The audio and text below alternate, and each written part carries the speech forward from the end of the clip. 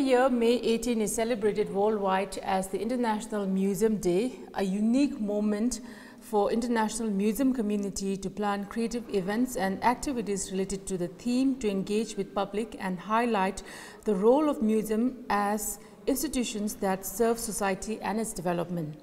This year's theme is Museum for Education and Research. Last year, more than 37,000 museums participated in the event, about uh, 158 countries and territories. In today's episode of In Conversation with Tibet TV, to discuss more on this theme, uh, we have invited uh, Dr. Tenzin Ladun, a research fellow from Tibet Policy Institute, on the significance of museum and role of Tibet Museum in keeping alive Tibetan identity and in advocating Justice for Tibet. Welcome to our program, Ladula. Thank you. Uh, so to start with, um, can you uh, tell us uh, what role do museums play in community and how do you see Tibet museums influence and role in the community and the non-Tibetan visitors here? Right. Um, so before uh, we uh, continue this conversation, I, I, want to make it clear here that uh, uh, I don't, I'm not an uh, expert on museum, uh, nor do I work in Tibet Museum per se. So uh, I request all to take my word with a pinch of salt. So with that, uh, I think you have raised some very important questions here, Vandala. Uh, what is the role of museum? I think it's pretty simple for the fact that museums are primarily, primarily built as, as an educational institution, but more importantly as a public institution uh, to sort of like what you have mentioned right now, to promote and preserve culture, history, and document uh, uh, uh, narratives, document, you know, like experiences of people involved in these histories, right?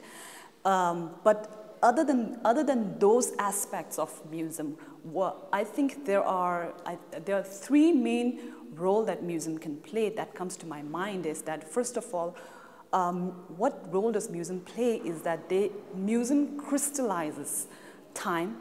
It takes back audience back to that particular past history. For instance, take for instance the Holocaust Museum, which is based in Washington, D.C., right? It's sort of, the Holocaust Museum highlights Jewish tragedy that happened back in 1940. So it takes people back to that past history. It's sort of the artifacts and the audio, audio visuals uh, you know, that are displayed in the museum speaks to the audience. It engages audience with that past history. I think in that sense, museum plays an important role in taking the audience back to that time, in, in engaging with the visitors. The second important role that I feel that museum plays is that it kind of builds shared memory uh, of multiple people. For instance, take for instance Tibet Museum itself. The artifacts that are displayed in Tibet Museum are donated by Tibetans themselves of various background, even non-Tibetans who have contributed to the artifacts, right? It shows a collective sense of responsibility. It shows a collective sense of oneness within ourselves, that Tibetans should come together and work together in that process in building this museum, in building this education institution. So in that sense, museum plays an important role in, role in bringing that shared memory, in bringing people together. And third of all, continuing with that, the role the important role that museum plays in sort of, it helps build national consciousness. For instance, Tibet Museum itself is built on a political history to highlight uh, Tibetan narratives, right? Which is not seen in any other museums around the world, be it Rubin Museum or Metropolitan Museum in New York. So I think Tibet Museum in that sense plays an important role in bringing that self-national consciousness within Tibetans, right? But the second question that you have raised, what influence does Tibet Museum plays for the Tibetans and the non-Tibetans particularly? In that sense, I, I feel like, first of all, what uh, the Tibetan, the Tibet Museum, uh, the fact that we should acknowledge the fact that Tibet Museum is located centrally in the, uh, uh, in the vicinity where it share uh, where it shares sort of, sort, of, uh, sort of like the vicinity with two very important political institutions. Uh, Tibet Museum is located in the middle of Central Tibetan Administration. It shares, uh, it is uh, located right next to Tibetan Library, which is one of the earliest and the biggest library in in exile, right? So we should acknowledge the fact that Tibet Museum is uh, located, uh, a shared location with two of the most important institutions in exile. And second of all, uh, Tibet Museum itself is built uh, and run by Tibetans themselves. Uh, the research that are being conducted in Tibet Museum are uh, done by Tibetans themselves. So this is a very sort of like, I feel for Tibetans, it's a huge milestone for Tibetans themselves can curate you know, uh, uh, materials in a Tibetan museum itself.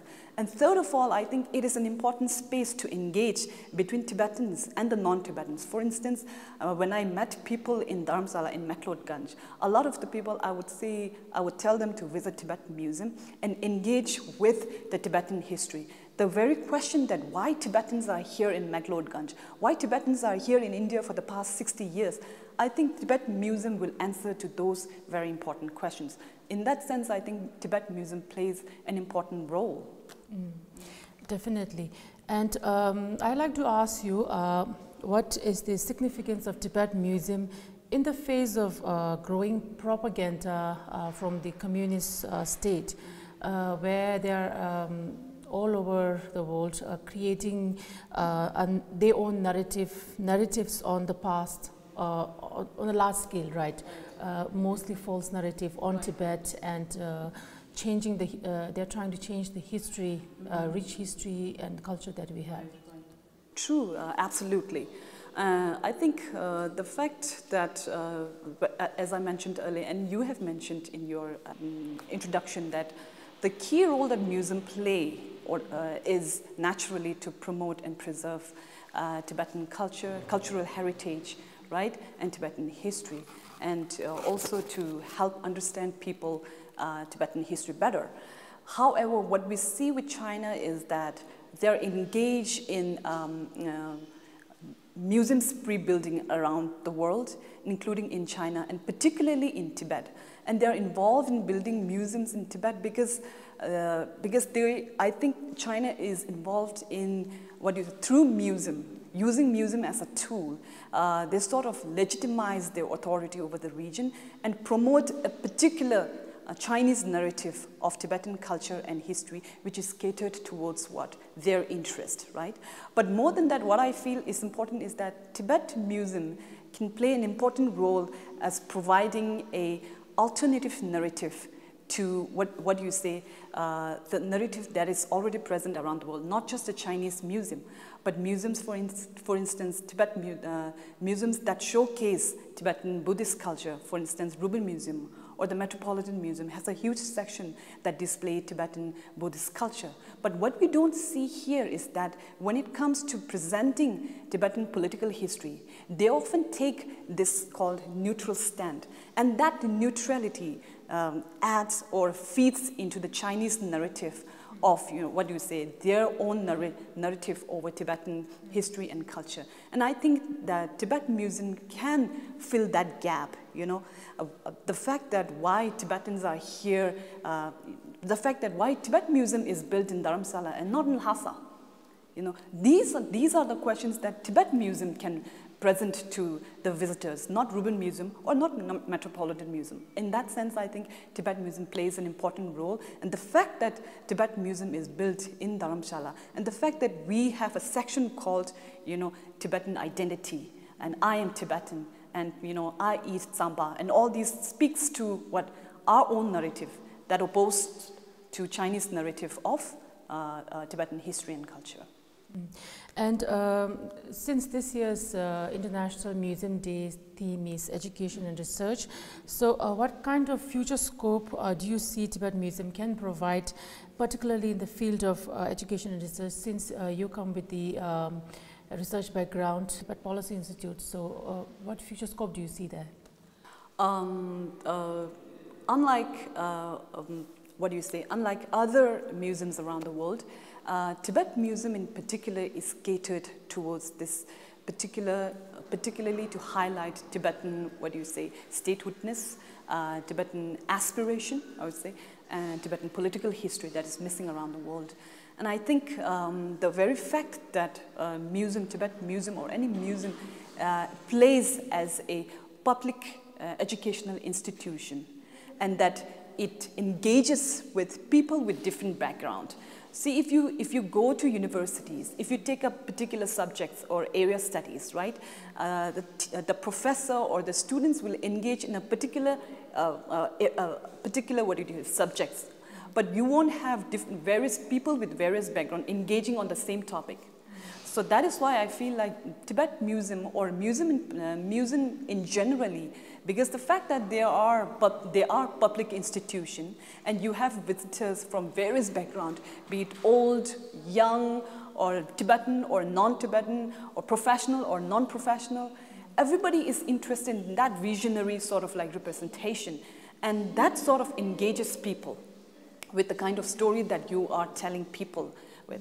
And in that sense, I think Tibet Museum has a, a role or a scope in engaging people with different background. Mm -hmm. And um, in present time, when you see the museum uh, uh, around everywhere, it's available online, right? Why do you think it is uh, different or it's important for us to visit the museum in person? Um, true, I think uh, this question is quite important, uh, especially after the post-pandemic, right? Uh, and as you have mentioned earlier, CTA itself has a virtual tour of the uh, Central Tibetan Administration, which is quite amazing. And um, I think if we, if we can have both, which is best, but uh, when, you, when, uh, when you talk about the difference between the importance of having a physical museum rather than a sort of like a, what do you say, um, um uh, uh, rather than a non-physical, what do you say, a museum. Uh, I think the difference lies in the fact that, you know, uh, when you visit museum physically, you get to see the artifacts, right? You get to see, uh, you get to physically see the visuals. And uh, as, the, as the proverb goes, what do you say, picture speaks thousands of words, right? And I think it's true in that sense. When you, when you visit museum physically, you engage with that artifact. You engage with that story. Not just that, but you have people working in the museum itself. And you have questions, I'm sure. And you can engage with the curators. And which is quite amazing learning experience, isn't it? And which is missing in, uh, say, when you have a virtual museum. You cannot do that. But the fact that, you know, uh, uh, uh, but the fact that Chinese believe that seeing is believing. I think it's important when it comes to whether it's a virtual or non-virtual. You get to see in real what is, uh, what is, what do you say, what is, how does it feel to visit the museum? How does it feel to see and hear the stories, uh, stories told by, you know, experience or shared by the person itself that is recorded in audiovisual.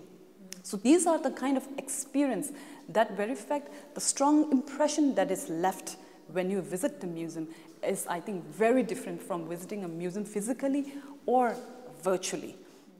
So um, that will answer these are my questions. Thank you so much for talking to us about so the uh, Tibetan Tibet Museum mm -hmm. and on the International Museum Day. And it was always lovely talking to you. Thank you so much. Thank you so much for watching and see you all in the next episode of In Conversation with Tibet TV.